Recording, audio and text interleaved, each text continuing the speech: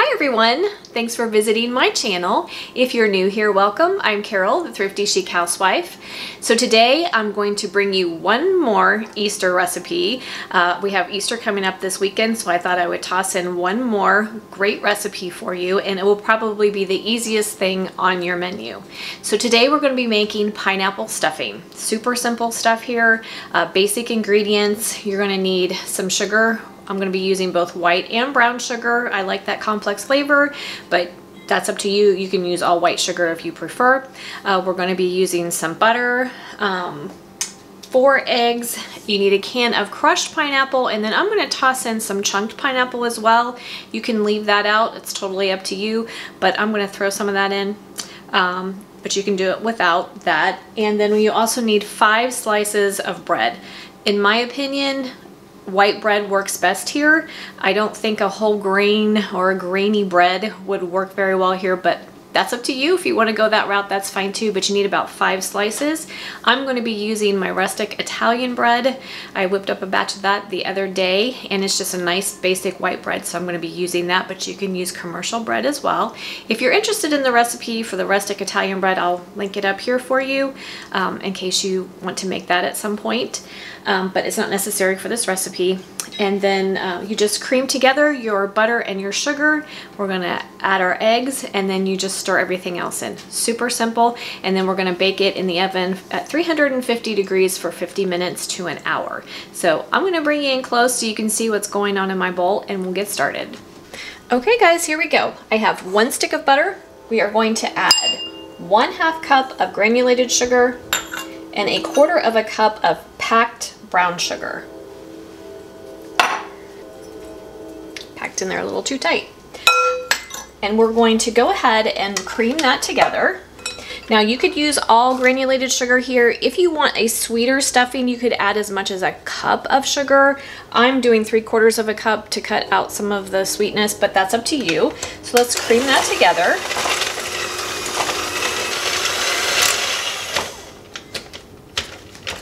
Okay, once your butter and your sugar are creamed together, we can go ahead and mix in our eggs. We need four eggs.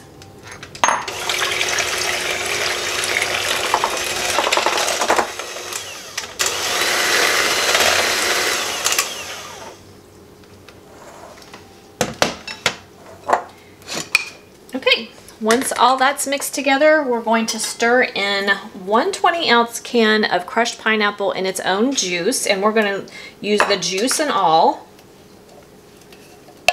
And we're gonna stir that in. I'm also gonna stir in some chunks. All I had was a large can of chunks. This can has been drained. Um, I, and I'm only gonna use about half of it.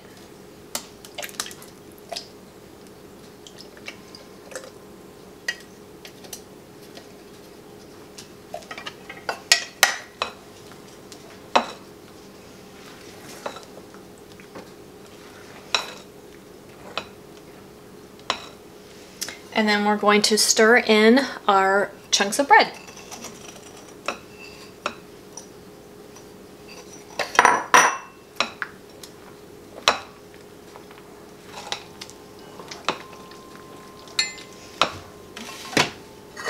Easy peasy, right? Okay, so now we're going to take a greased, actually I buttered mine, uh, my baking dish, and we're going to go ahead and pour all that into the baking dish.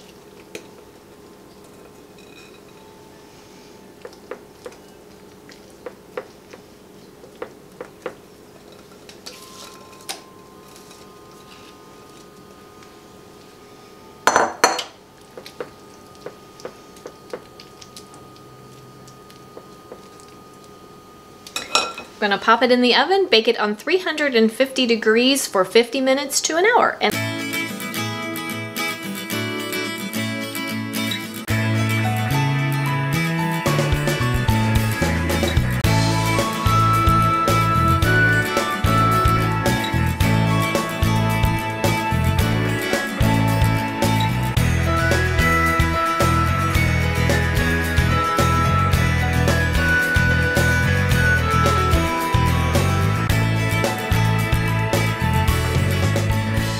guys, we are all done. I baked my pineapple stuffing for right about an hour. I like for it to get nice and golden brown on top, but 15 minutes to an hour is totally fine. Just depends on how much um, crispiness and how much color you want to the top of your stuffing.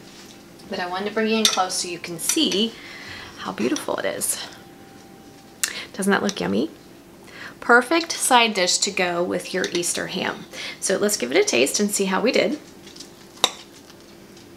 beautiful chunks of the bread and the chunky pineapple. I love the chunky pineapple in there, but again, that is totally optional. You don't have to add that. The um, crushed pineapple is fine to use just that if you prefer. You could also use uh, fresh pineapple instead of the canned. I don't know if I said that or not, but you can. So let's give it a taste. Mm, really yummy. In my personal opinion, this is the perfect sweetness. It's not so sweet that it goes over into the dessert category. It's just perfect for a lovely side, something different. It's really bright and refreshing. Um, doesn't feel heavy, which I think is great for the time of year. It's spring, it's Easter, so it works really well for having a lighter texture and flavor to it. So it's just, in my mind, it's just perfect. It's totally delicious. But like I said, if you wanted it to be more on the sweeter side and make it more like a dessert, you can add more sugar that works well also. It's just your preference and what you're looking for. But here you go, another great side for your Easter feast and totally versatile. You can change it up however you want to, but it's so simple and easy to do. So I hope you'll give it a try. If you have any questions or comments for me, leave them in the comment section below. Like, subscribe, and share, and I will see you next time. Have a great day, you guys, and happy Easter. Mwah.